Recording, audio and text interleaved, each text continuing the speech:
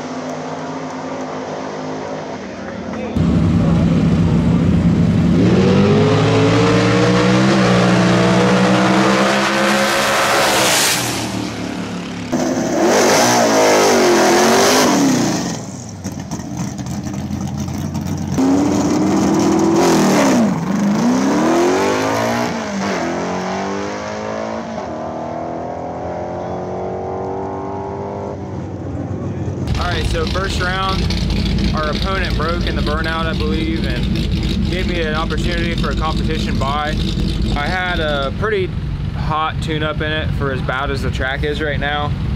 Uh, traction control kept it in check, and it made it so that I didn't have to pedal the entire run. It pulled about 15 degrees out of it the first two seconds of the run all the way down. It hit the rev limiter once at like 0.1 second for the traction control.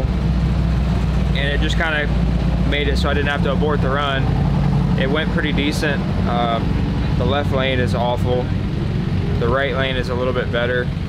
I've been seeing people do wheelies in the right lane a little bit and left lane like I've barely seen anybody go maybe a 1.5 60 foot in that lane. It's just awful, it looks like. Hopefully it comes around when the sun goes down a little bit and we've got a pretty tough opponent next round. These uh, Canadians, they're pretty fast. And, uh, they got the, I think they got the better lane. We're gonna have to, you know, make a perfect pass in that left lane and probably put in a lot of boost out the back to be able to catch them to make up for the difference in the 60. So I got three on the scramble if I need it. I'm just gonna do the best I can. It's kind of a one lane race. What? Yeah. What do you think about that? Whatever you do, don't hit that button. What's that for? Trans brake. What? It's a trans brake. I'm just kidding, you can hit it. Ask him which one is the NOS. Which one's not? We don't need that, we're a turbo car. Oh, yeah. He has a turbo. But I do have a bottle for the CO2 that makes the turbo spin faster. Faster? Yep. CO2.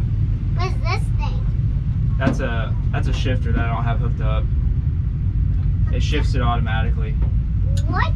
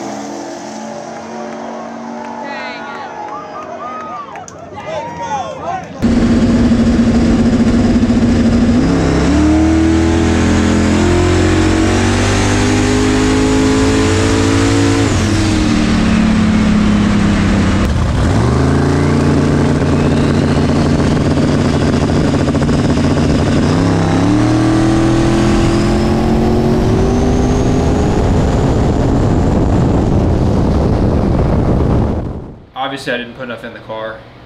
Um, I didn't think that the left lane could even hold what the right lane could, anyways. At that point, I, even if I made the best pass that left lane could hold, I don't think I could have beat that car in the right lane. Um, he made a what I think was the fastest pass of the event. I mean, we literally went from a low six second track to a high five second track first round to a low five second track second round. My car ate ate the tune up that I put in it, didn't spin at all. Um, I assume it could have taken quite a bit more, but I don't think I I don't think it could have taken what the right lane did. Um, the track had just starting to tighten up, and we just kind of caught it on the edge of, you know, three or four passes before that. I watched a bunch of people spin, and it was still really greasy. I walked out there, and then all of a sudden, man, it just got good out of nowhere. Track just tightened up, and I just didn't put enough in it. The, the guys over there at uh, the Tangerine Dream, their crew, they did a awesome job. I mean, I would have never thought to put that fast of a tune-up in my car, knowing that how bad it was first round. Basically, they really swung for the fences and just nailed it. And I don't think anybody else went as fast as they did on that pass second round the entire event. Um, they told me what they went, and I was just amazed. I don't. I really don't think anybody else could mess with their pass that they made against me.